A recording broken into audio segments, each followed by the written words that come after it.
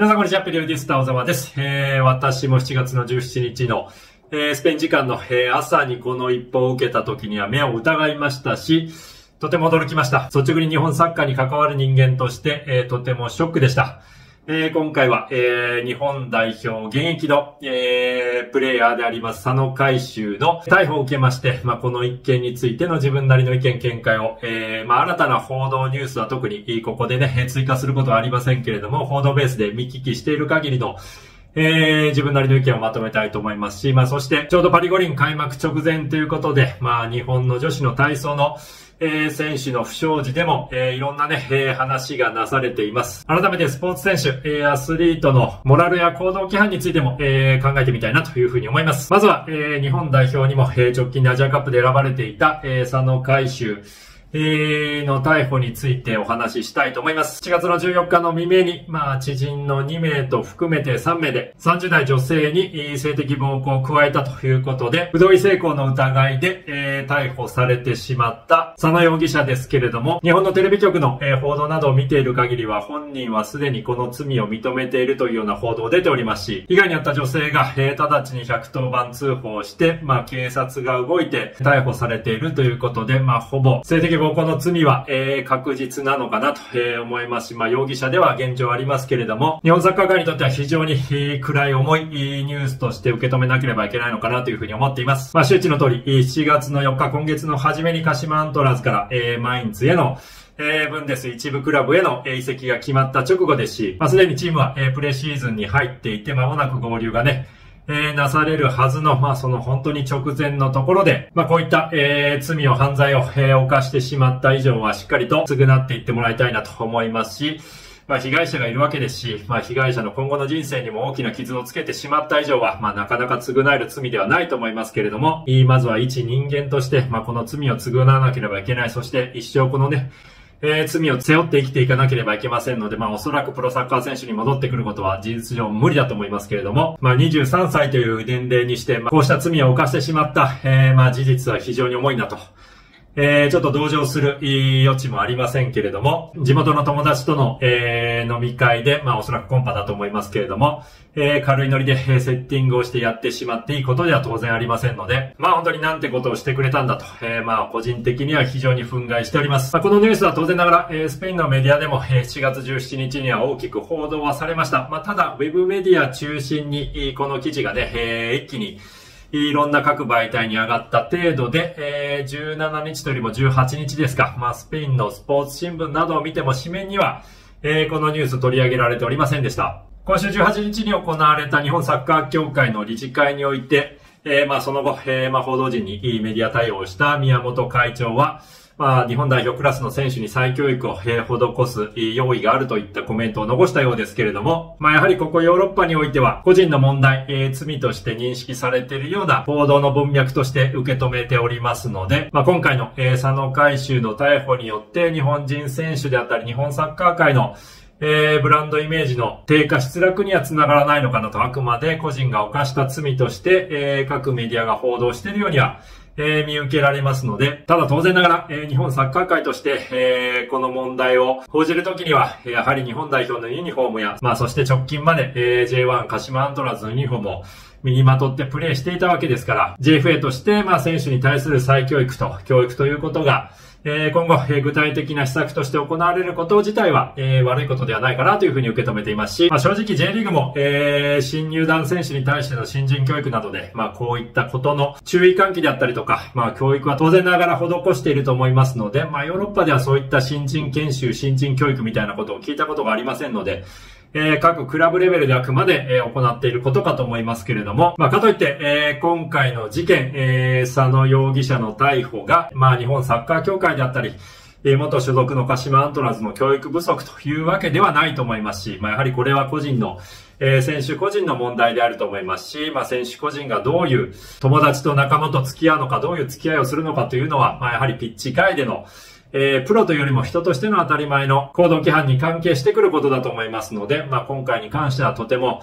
えー、残念なおそらく知人交友関係を持っていたんだろうなと、えー、まあ、ノリでやっていいことと悪いことがありますので、えー、決してやってはいけない一線を、えー、踏み越えてしまうような、えー、ね、ノリで仲間とやってしまったということなんだと思いますけれども、とても許されるような、えー、こういう行動ではありませんので、厳罰にいい方で、えー、処罰してもらいたいなと、えー、個人的には思っています。まあ、そしてこの、えー、事件の直後にはパリ五輪に使用することが決まっていた女子体操の宮田翔子選手が、19歳という未成年の年齢で喫煙、えー、飲酒をしていたということで、しかもそれが強化合宿を行う、えー、ナショナルトレーニングセンター内の施設内で行われていたということで、まあ、その通報を受けて、えー、本人確認をした上で、本人から、えー、五輪出場の事態があったというような、この報道ニュースを受けて、まあ、いろんな議論が行われていますけれども、私も、えー、日本のニュース確認しましたし、日本体操協会の会見も、まあ、一部ではありますけれども、えー、確認しました。まあ、個人の意見として、えー、まあ、日本体操協会としての行動規範、ルールを、えー、ね、こう、書面化して、明文化して、えー、選手や関係者に通達していたということですので、まあその、えー、ルールを逸脱した以上は、五輪出場自体になっても仕方がないのかなと、えー、個人的には思っております。えー、日本のスポーツ選手において日の丸をつけることの、やはり重みというのは改めて再認識すべきかと、えー、私は思います。もちろん、えー、今回の宮田選手の、えー、まあコーチが語っていたように、明かしていたように、まあ相当にまあ女子体操界のエースだったようですから、まあ相当に日々ね、プレッシャーにさらされていたと、まあそのプレッシャーから逃げるため、逃れるために、えー、こっそりと、えー、喫煙飲酒をしていたというような、えー、話で、まあ、そ、まあ、ごくわずかな同情は、えー、できるのかなと思いますけれども、まあ、かといって許される、えー、行為ではありませんし、少なくともそういった、まあ、注目や人気を受けることと同時に、えー、プレッシャーもね、えー、同じようにあるということも含めて、えー、日本トップレベルの、えー、アスリートとして、まあ、活動、行動していたということですから、まあ、そこをね、まあ、そのプレッシャーに押しつぶされてしまったということであれば、もちろん、えー、今後、まあ、こういった一件を受けての、えー、施策としては今後しっかりと、代表強化の一環の中でしっかりと心理カウンセラーであったり、カウンセリングを送るといった、えー、施策は考えられると思いますけれども、まあ、今回に関しては、競技団体の中で決めていた行動規範ルールを、えー、超えてしまったと、えー、逸脱してしまったということですから、当然ながら、えー、ルール違反として処罰されても仕方がないのかなと。まあ、ドライかもしれませんが、まあ、それは、日々様々なスポーツ競技の中で、えー、切磋琢磨しているアスリートが一番ルールの中で、自身のレベル向上を目指すということを理解しているはずですので、まあ、宮田選手が一番自分の心の弱さであったり、今回、責任を感じているんじゃないかなと思いますので、まあ、これ以降に関して言うと、まあ、そういった選手個人に誹謗中傷が、えー、集中放火として浴びせられなければいいなというふうには思っています。まあ、今週こういった、えー、日本人アスリートの2つの事件と、えー、一件をね、えー、踏まえて改めて、えー、スポーツ選手が持つ影響力や、まあそういった国を背負って国のユニフォーム、エンブレムをね、えー、国旗を背負ってプレーする、えー、競技をすることの、えー、重みをちょっと改めて考えざるを得ませんでした。まあというのも、えー、先日ね、えー、スペイン代表の優勝で終わりましたユーロ2024大会期間中も、まあ、欧州では、えー、ちょうどフランスやイギリスで総選挙がありまして、まあ特にフランス代表のキリアン・エンバペがレアル・マドリにね、えー、先日、えー、入団発表を行ったばかりですけれども、まあ、フランスの、えー、第1回の総選挙で極右政党が、えー、非常に支持を伸ばしたことによって、まあ、その危機感を募らせ、そういった極右政党の人たちに、まあ、政権を握らせてはいけないんだと。えー、だから、えー、フランスの皆さん、国民の皆さん、ぜひ、第2回の投票に行きましょうというね、呼びかけを、えー、自身の政治信条を、えー、フランス代表の、えー、大会期間中の記者会見で堂々と、えー、はっきりと、えー、表明して、まあ、それが、えー、スペインでも相当、えー、議論を呼びました。まあ、スペイン代表の中でもカルバハルやウナイシモンはかなりドライで、まあ、スポーツ選手、僕たちのようなサッカー選手がそういった政治信条を直接的に意見表明するべきではないと。僕たちはあくまでサッカー選手なんであって、えー、サッカーを逸脱するような、えー、行為はふさわしくないといったね、ニュアンスの発言をね、まあ、ややエンバペのそういった、えー、行為に対して、えー、反対の意見を述べていましたけれども、まあ、そういったことの是非が、えー、叫ばれるのは改めてやはり、えー、スポーツ選手、アスリートがそれだけ特に、えー、ヨーロッパにおいては、えー、フットボーラーは影響力を持つからであって、往々にして政治政党や政治家から、えー、その影響力をいいように使われますし、まあ、エンバペもパリ・サンジェルマン在籍時代は、まあ、フランスのマクロン大統領であったり、あるいはカタールという国自体に、まあ、いろんなものを背負わされて、えー、広告塔として使われてきましたので、まあ逆にそういった、えー、自身の政治信条を明らかにすること自体は何ら間違ってないと私は思いますし、むしろ正しい影響力の使い方なんじゃないかなと、えー、個人的には思ってみました。まあそのテーマに関しては、えー、議論する余地があるなと思いましたので、えー、今月のえー、木村博次さんとのユーロ2024対談の第3回で、えー、この後の動画で皆さんに、えー、見ていただきたいなというふうに思います。まあ私個人としては、えー、このね、スペインに身を置き暮らし、ヨーロッパのそういった、え、スポーツが特にフットボールが、え、人々の生活の一部として、まあ相当生活の深部にまで、えー、浸透しているフットボールカルチャー文化があるヨーロッパの社会においては、まあアスリートが、えー、政治的発言をする、えー、ことの是非がね、問われるような、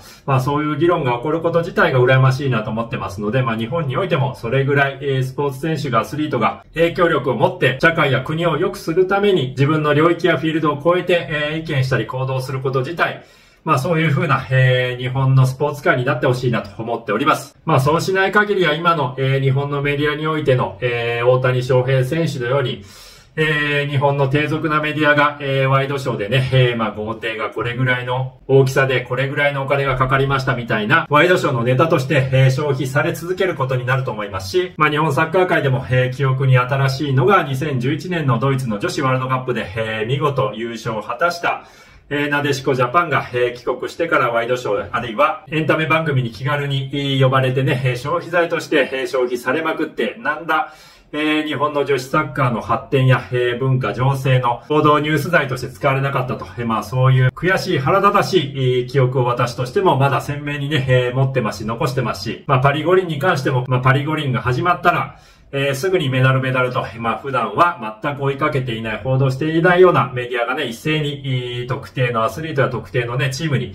えー、メダルを取りなさいといった、えー、プレッシャーをかけるような報道で続けるわけですけれども、まあそうではなくて、やはり健全にバランスよく、まあ日々のニュース報道の中で当たり前に、スポーツニュースのコーナーがあって、まあそこに大谷翔平ばかりではなくて、大リーグプロ野球ばかりではなくて、いろんなスポーツが文化的に紹介されて、報道されていくような健全なスポーツ報道を私も、ここスペインから望んでいますので、ぜひそういう方向に、まあこういう悲しい、ネガティブな事件報道ではありますけれども、そういうことを考えるきっかけに、えー、していただきたいなというふうに思いましたので、今回改めて取り上げてみました。ということで、えー、今回もご視聴いただきありがとうございました。また次の動画でお会いしましょう。ワサラプロキシマ。